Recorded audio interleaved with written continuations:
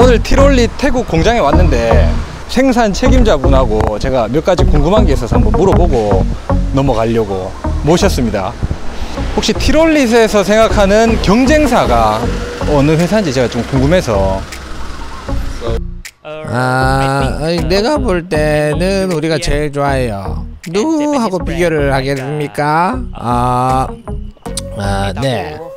비교하지 말아주세요. 오케이? 너무 멋있게 말하려고 하지 마세요. 농담입니다. 농담. 안녕하십니까 황 부장입니다.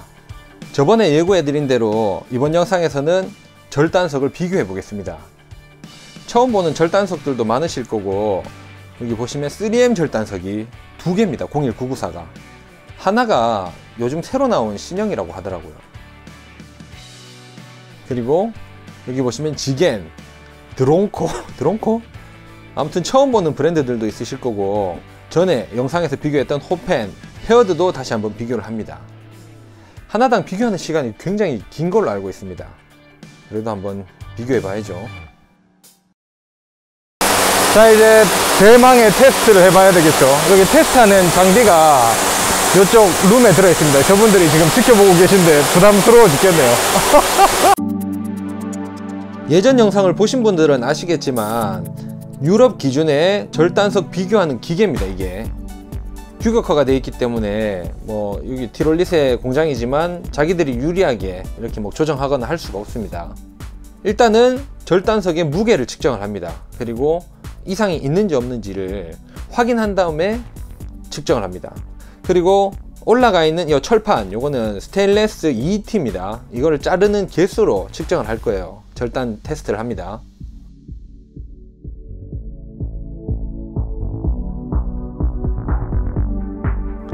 이렇게 해서 테스트를 시작을 합니다. 이게 실제 작업 속도입니다. 보면 굉장히 늦죠. 하나 작업하는데 엄청나게 시간이 많이 걸려요. 지금 하나 절단했습니다 하나. 한 조각. 그리고 이 철판을 자동으로 기계가 밀어주는데 이제 이제 열불 터지죠. 시간이 많이 걸립니다. 그리고 이 작업을 통해서 잘려진 조각은 이쪽으로 떨어지게 됩니다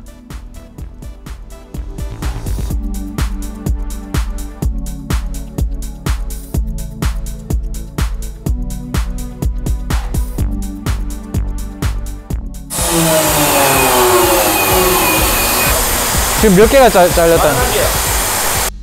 자, 지금 기계가 멈췄습니다. 자동으로 멈춰요.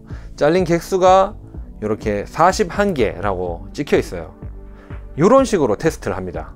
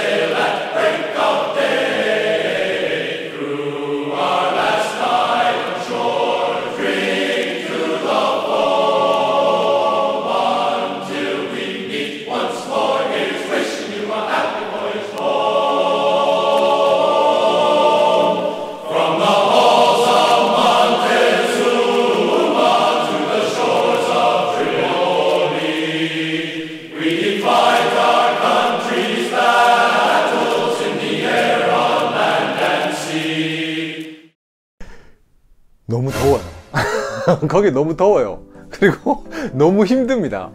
또 하라고 하면 못할 것 같습니다. 아, 진짜 대단하더라고요.